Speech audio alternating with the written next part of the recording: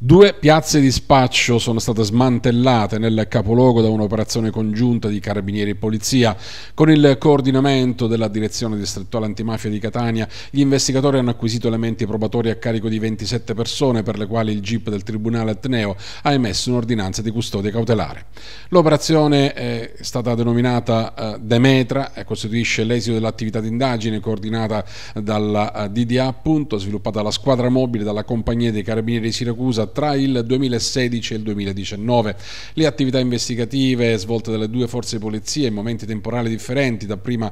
i carabinieri e successivamente la squadra mobile, hanno acclarato l'operatività del sodalizio criminale dedito al traffico di sostanze stupefacenti, il gruppo di Via Italia in particolare che ha la sua base logistica operativa eh, in Via Italia 103 interessando nel tempo anche la vicina piazza San Metodio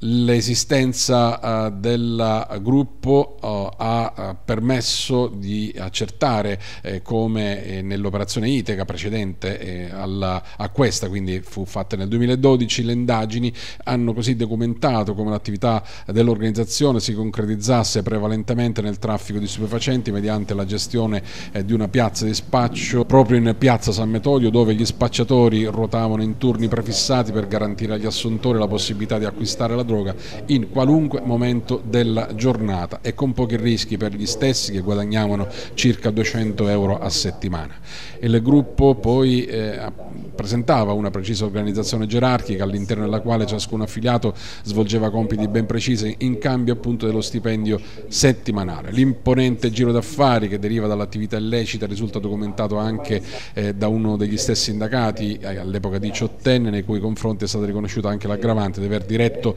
il sodalizio eh, attraverso filmati pubblicati su un social network si ritraeva mettendo in mostra eh, un rilevante quantitativo di denaro in banconote di vario genere e taglio riposte su un tavolo accompagnando uno di tali video con un brano musicale evocativo dell'attività illecita del trafficante Pablo Escobar.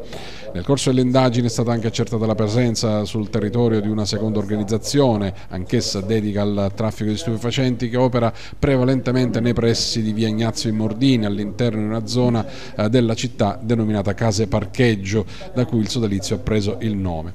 La ulteriore eh, associazione manteneva comunque legami con l'organizzazione di Via Italia, da eh, cui acquistava sostanze stupefacenti per il successivo smercio.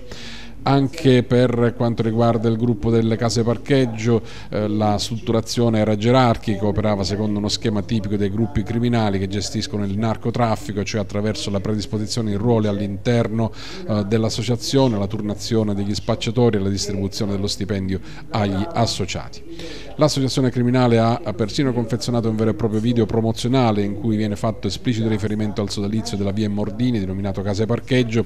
il video nel quale compaiono alcuni fra gli indagati, oltre alle immagini del quartiere delle case parcheggio, la figura della Statua della Libertà che imbraccia un fucile mitragliatore al posto della fiaccola, è stato pubblicato su social network con lo scopo eh, di pubblicizzare l'attività di spaccio di stupefacenti e l'organizzazione criminale attraverso l'esplicito invito rivolto ai potenziali clienti con la frase veniteci a trovare.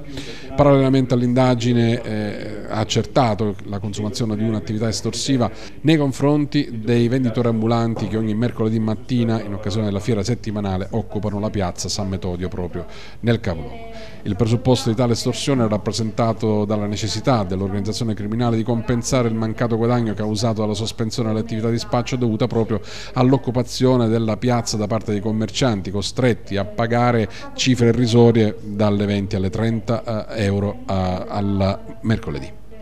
2016 inizia un'operazione che poi prendete in mano e accompagnate fino all'epilogo. Cos'è questo gruppo di Vietà? È un gruppo che ha avuto una, una crescita esponenziale del suo volume eh, d'affari, si, si, è allargato per, tante, per, tutta una serie di motivi, sia del fatto della, che è riuscito a prevalere come concorrenza rispetto all'attività di spaccio di altre piazze, sia anche per degli aspetti logistici collegati a questi a queste, queste aree eh, urbane caratterizzate da, pala, da palazzi ed edilizia popolari, anche con delle vie larghe che consentono tutta una serie di, di movimenti da parte del, di coloro che sono impegnati. Si erano organizzati anche in modo tale proprio come, come imprenditori, quindi pubblicizzavano anche la loro attività?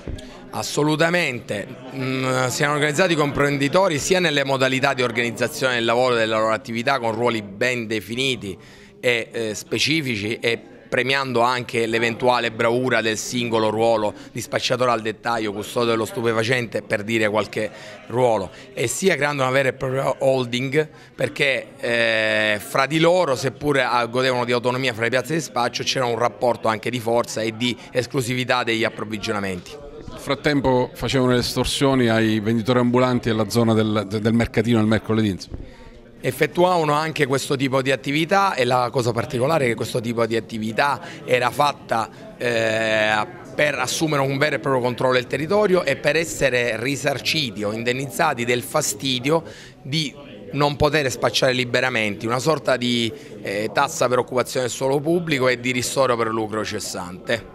Un'operazione che ovviamente è coordinata dalla direzione distrettuale antimafia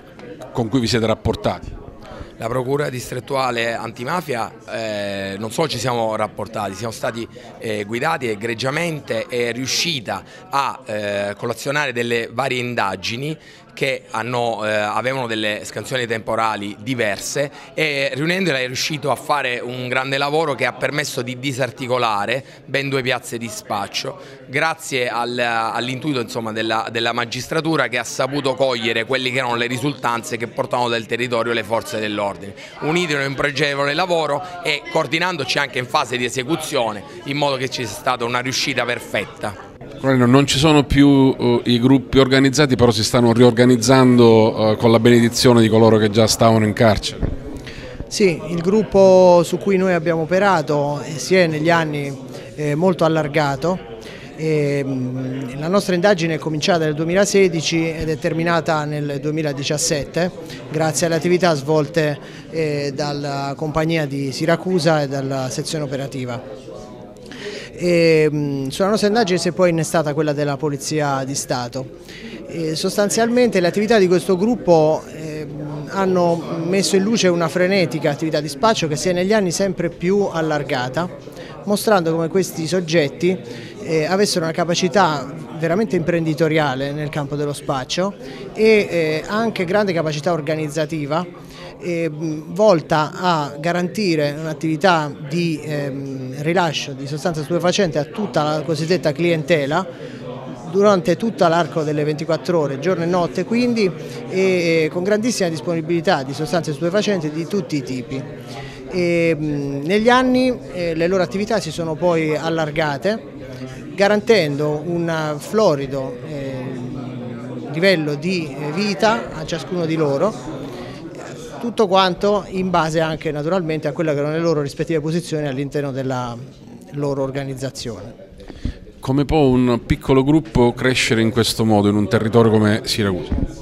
Un piccolo gruppo cresce essendo stato parametrato poi ad un'impresa esattamente come un'impresa, tanta domanda quindi tanta offerta. A quel punto anche un piccolo gruppo diventa un'azienda vera e propria ed è quello che è diventato poi il piccolo gruppo che abbiamo certificato noi con la nostra indagine 2016 del gruppo di Via Italia che è diventato, come hanno detto i colleghi della Questura stamattina, una vera e propria holding dello spaccio.